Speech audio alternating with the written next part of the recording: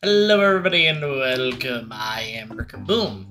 And we're going to be expanding a little bit on our typical Pokemon content. I've been doing Pokemon challenges for quite a while now. While I love that, I want to be able to keep expanding as a creator and also still be able to bring something that's a little bit different to the channel while also kind of sticking to my niche.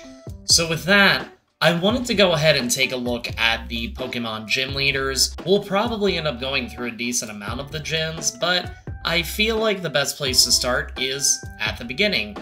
Because what is the first thing that you look at when you're playing a Pokemon game? Aside from the Pokemon that you can catch, it's probably going to be the gym leaders, and let's face it, not all gyms are created equal. So what we're going to go ahead and do is we're going to be covering Pokemon Fire Red Leaf Green. Reason behind this is because when games are released, that's typically the best that they have to offer. What we're going to be doing is taking a look at the teams of every gym leader and then seeing if we can go ahead and make it better, whether it's removing duplicates or uh, just providing a different Pokemon entirely more often than not, we're going to be focusing on the duplicate situation and seeing what we can do to make that team a little bit more diverse. So, with that, we're going to go ahead. We are going to HMO8 on in. We're going to go ahead and start with Brock, and I'm going to be honest, Brock is fine. He has two different Pokemon that are both rock ground types, and it's a pretty good start, and a good way to go ahead and introduce people into the game.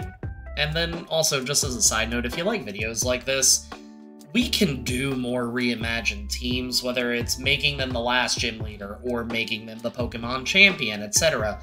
But I do need your help, and I need you to go ahead and drop a comment below if you like this kind of idea. Even if it's just disagreeing with me, that's fine too, because it at least lets me know that you're engaged with what I'm doing. Anyway, with Misty, this is where we're going to go ahead and start changing up the teams at least a little bit, because Starmie is going to go ahead and stay as her ace. Starmie is a solid type, both Water Psychic, it's got a very strong Water move in the remakes, especially with Water Pulse. However, I think that we can get rid of Staryu and have a few pretty good options. Now, the first option is obviously Psyduck. Psyduck was her companion in the anime. We could also do Horsea because she did have a Horsea in the anime as well, but what I would actually recommend is Seel. Seel has a pretty similar base stat total to Staryu, and on top of that, it would also go ahead and at least allow us to introduce the concept of Ice-type Pokemon, and make it so the grass starters aren't going to be stomping over the first half of the game, essentially it would give fire types a little bit more of an advantage to be able to go ahead and be useful. Now, I know that you're not going to find any fire types between Viridian Forest and here, but if you chose Charmander as your starter, by now you have a Charmeleon, and it should, even if we're going by Nuzlocke terms, unless the, the move set is completely jail busted, should be able to go ahead and stand up to it pretty effectively. Next up, we have Lieutenant Surge, and this is a pretty easy fix. I would honestly swap out Pikachu for Magnemite. The main reason being is that Pikachu got a lot of time to shine in the anime, obviously, and on top of that, it also has Pokemon Yellow, where it had its time to shine. I understand that Raichu is important in regards especially to the anime, because that was what Pikachu stood up to, was able to beat, etc., plot armor nonsense. But I think replacing Pikachu with Magnemite would honestly be the best call. You've still got Voltorb because it's fine. It's a completely different Pokemon. Raichu is spot on to the anime, so why not go ahead and add in Magnemite just to give him a fully diverse team, but still again sticking to the electric types. As we move on to the essentially middle of the game, want to go ahead, kindly remind you to subscribe because it is as easy as 1, 2, 3, and you know what else is easy as 1, 2, 3? Moving on from Erika's team. She has three Pokemon grass types that are all different, and I think that's perfect. And the best part about that is, in my opinion, is the fact that she has Tangela. Tangela, overall, is a pretty weak Pokemon, but it's also the only pure grass type that Kanto had. Once Johto is involved, we obviously have a few more, but this early on in the series, I think it works out quite well, personally.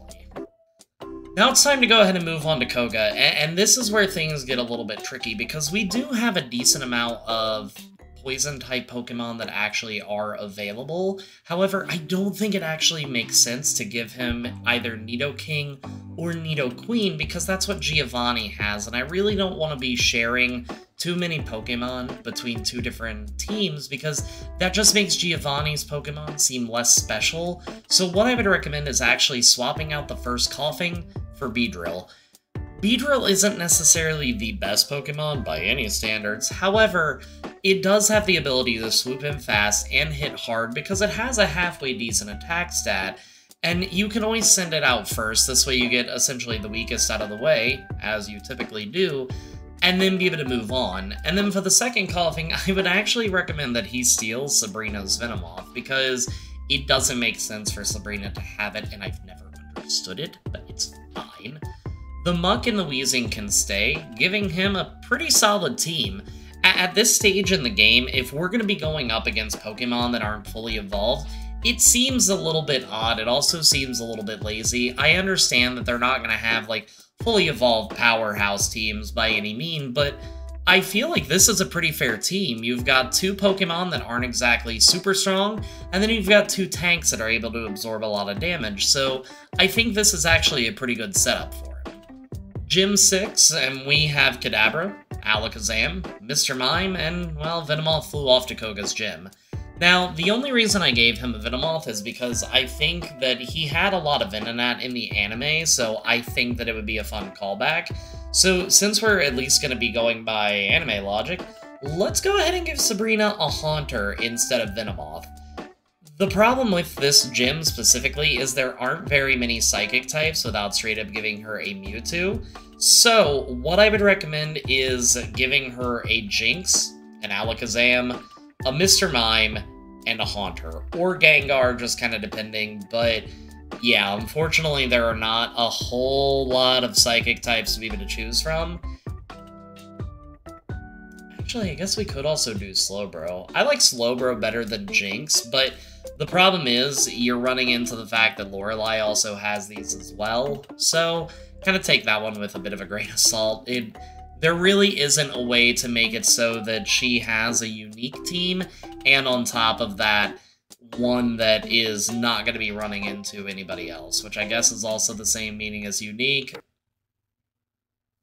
My brain hurts. As we move on to Blaine, this is where I don't understand the pre-evolved form and the final form of each Pokemon being something you're going up against. You have Growlithe. Then you have Ponyta. Eh, alright, Pokemon.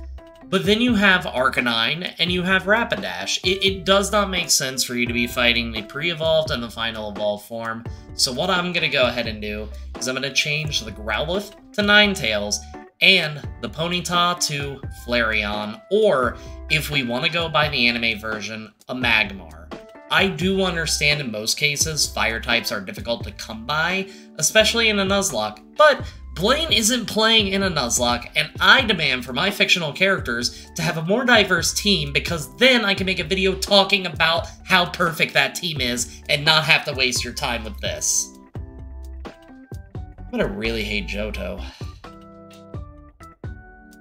Last up for the gym leaders, we have Giovanni, and I only want to change one of his Pokemon. I want to swap out one of the Rhyhorns for Kangaskhan, since he hasn't in other encounters, then I would also just take that last Rhyhorn and make it a Rhydon. With him being the last gym leader, I think it makes sense if his Pokemon are fully evolved, and while Kangaskhan is neither of these things, it's still so much better than an Onix, even if it doesn't fit the typing. Onix is just terrible, y'all. Now with that, I would say that it's go ahead and time to move on to the Elite Four, and first up is Lorelei, and her team is perfect. She says that she's an Ice Master, and honestly, it fits. Each Pokemon she has has a dual typing, but it still remains true to that Ice type. To add to that, each Pokemon is different, and honestly, that's solid. You don't realize how many dual Ice types there are until you fight Lorelei's team or you're making a video and you have to know how many ice types there are. From there, it's time to move on to fighting Master Bruno, and here's where we need to just make one change. The good news is he has a pretty diverse fighting team, but the two Onix are the issue. There's one fighting type Pokemon left, and that's Poliwrath. This way he has a full diverse team. I would lead still with the first Onix just to get it out of the way, and then every Pokemon beyond that is at least a fighting type, and on top of that, it also just gives him a little bit more coverage, and Poliwrath isn't a Pokemon that's used very much at all, even though in the Pokemon anime, Poliwhirl was such a prevalent part of it. It's kind of surprising that nobody seems to actually carry this little dude with them. So I would love to see it. Then we have Agatha. And we're running into the issue of her saying that she's a Ghost Master, but all of her Pokemon are part Poison type as well. Due to that, I want to go ahead and replace Haunter with Vileplume or Parasect, given the fact that it's a fungus Pokemon that is essentially a zombie dead at this point, so I think it would fit pretty well, especially from Pokedex entries. Then from there, the weaker Gengar, I would say to go ahead and give her a Muk. Unfortunately, there isn't enough ghost typing to go around, but since poison also seems to be your specialty, I think this team works well enough, and, and Muk can, like, I know ghost Pokemon go into the shadows, but, like, Muk can just make himself a pile of sludge, and I think it works, kinda, sorta. Finally, we have Lance, and I'll be honest, this one's kinda tricky. There are so few dragon types in the game, but thankfully he doesn't seem to mind a little bit of diversity, Overall, the two Dragonairs are the problem, and while we may have to make him relinquish the title of Dragon Tamer, we have a couple options. I think, given the fact that he has an Aerodactyl, shows that he has access to the technology in Cinnabar, and I know that this would be kind of uh, cheap, given the fact that this is Brock's, most of Brock's Pokemon team in Heart Gold Soul Silver, but I think that honestly the best call for him is giving him the prehistoric Pokemon. And in that, I mean Omastar and Kabutops. Because here's the thing. The two Dragonair are almost completely useless. At least if he has Omastar and Kabutops, it's at least a completely diverse team. It shows that he is a master of Pokemon, and it just, it works out so much better than having these two Dragonair that all they do is Thunder Wave, Hyper Beam, Fire Blast, and that's it. They are a one-trick pony that really can't do much. Now, we're to go ahead and move on to the final rival, and his team is fine. He has a well-diverse team that changes slightly with each starter he has, but the core elements remain the same. The only thing that I would consider is swapping out Pidgeot for Dodrio, since that is a better Pokemon overall. So if you've made it this far into the video, thank you. And if you like watching me assemble Pokemon teams, make sure to check out the Pokemon by Daylight series. We take all the different Unalivers and all the different survivors and go ahead and give them a full team of six Pokemon, and honestly, I have a lot of fun with that. If there are teams that you don't agree with, or that you would like to see changed, make sure to go ahead and drop them in the comments. The only person that I refuse to touch is Youngster Joey, because he has a top percentage Rattata. So, with that being out of the way, if you liked the video, even if you didn't like the video, think about hitting the like and subscribe button, because it really does help me out. And until next time, everybody, peace out.